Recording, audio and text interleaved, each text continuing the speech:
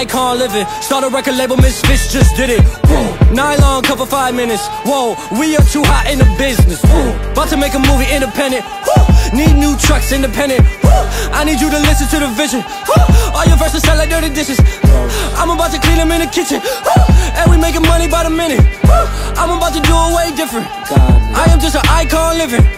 I am just an icon living.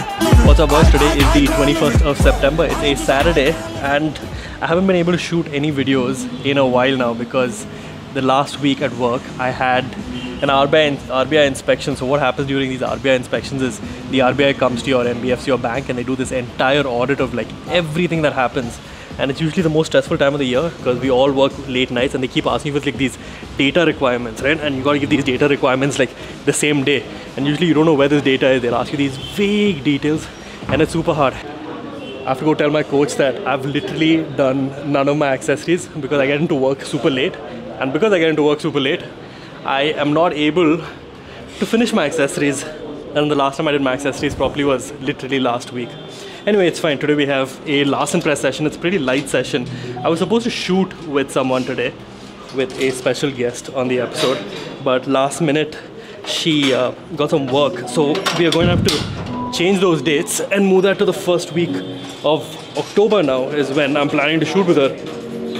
For those of you that watched my episode last week, it was the our special guest was someone that I used to train with in Kerala didn't really speak to her in Kerala, but then we both moved to Bangalore. Both of us became competitive powerlifters, and we started talking after that again. I am not a mind, I'm a menace. It's wild, you can lie like a professor. I don't got the time to put you on a stretcher. Stretcher. I am here and I still flex. I am just an icon living. Start a record label, Misfits just did it. Whoa, I'm high snob, cover five minutes. Whoa, we are so hot in the business. Last verse was before the award show. What? Icon tatted on my torso. Huh? Me and Moy dipping in the Porso. What? I ain't even taking on. Get asked a lot why I don't compete in powerlifting India or PI, and why I compete in the WPC. And the main reason is because I can't put up with the red tapeism and bureaucracy and corruption that is there in PI. And I feel like this has been going on for absolute years now, right?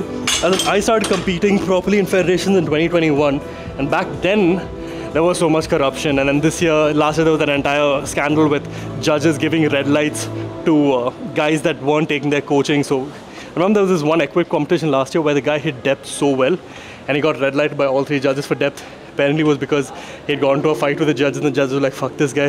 This year there was a girl who competed in the Karnataka state bench press competition. There's this one video that she has where uh, uh, she got two whites and a red, but then one of the judges that gave her a white basically saw the other judge gave her a red, so he also gave her a red. Shit like this just keeps happening, bro. Even with me back in 2021, uh, there was just so much bureaucracy, asking for bribes and things like that. I couldn't put up with it.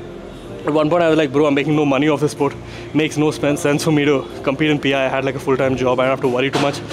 And that was it for me. I decided that I would permanently compete in the WPC. And that's what I've been doing since then. I've competed in 2021. I competed in 2022, 2023, 2024. Never gotten. I've even actually competed in the IPF once, not the International Powerlifting Federation. I've competed in the Indian Powerlifting Federation. They had a South Indian Championship in Chennai uh, 22 end if I'm not wrong. And I competed in that. I it was a full powerlifting meet. I think I totaled 600 and something in the 93 kg weight class won a gold uh, South Indian champion for that year. But literally unless powerlifting India becomes the federation that takes you to the Olympics I don't think I'd even consider competing in PI because I can't put up with that bullshit. I'm way too old for that kind of drama in my life. I need to be able to do my own thing right that's exactly why I don't compete in PI anymore. So the reason I do Larsen presses at least once a week is for stability reasons, right? And another thing is so that my arch isn't as pronounced. Usually when you have to lift your legs up in a Larsen press, right? The the, the thing that's taken out of the equation, one is stability. Usually when you can get your quads and push really well to the ground, you're very stable while benching. So by lifting your legs off of the ground and keeping it straight, a Larsen press basically makes you a lot more unstable. And that's why we added into my program so that when I go back to normal benching, it's a lot better for me. Second thing we add Larsen press for is usually you have a very accentuated or very emphasized arch while um, you're while you're doing your normal bench because your quads are nice, nice and tight in place by removing your quads from the equation, your, your arch is no longer as pronounced and you have a greater range of motion After that the instability that I just speak of, and Larsen presses are an excellent accessory to improve your bench over time. Last girl signed a divorce, so what? Now I'm focusing, we about to all blow up. We just trying to make the whole crowd go nuts. What? Look. We don't know no one like you. Gold grills and you dance like Michael. No eyes, misfits, no typos. Ooh, Look, wait. We just wanna make you go psycho. Put a hundred thousand dollars in the Bible. Will- felt a little heavier than I was hoping. I was hoping that'd be like a eight, but that was practically a nine. I think I could have gotten one good clean rep in there, but I don't think I would have been able to get any more than that. Anyway, good day. Not too bad at all. That was my top set. We need a rush today because when I came in all the way from Sarjapur today, my second videographer point the camera at Shobit, bro. This man was supposed to be at my house at 5:30 so that we could come to Sarjapur and reach by 6. Instead, he reaches my house at 6 o'clock and says, Hey, bro, I'm here. And we were like 45 minutes late. We got caught in Sarjapur traffic. You guys know where that Gillies is in Sarjapur? Bro, so there's an underpass that goes there, right? Horrible, bro. Was horrible. Because, first of all, it's downhill. I'm on a bike, so I have to keep my hand on that brake. I can't just be on my phone. So I'm holding the brake with my right hand, clutch on my left hand, and you just stand there because it's an underpass and you're going down. You're just waiting and waiting and waiting.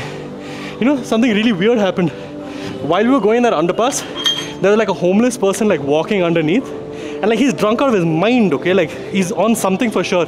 And he's like waving people by, but there's like traffic, so you can't go. So he's just like waving people to go on. And then one really sweet guy comes and like says, Hey bro, get on my bike. And the homeless guy gets on his bike and they just both go drive somewhere. It's a very weird situation for me to watch. I was just like, what the fuck is happening there? Ah.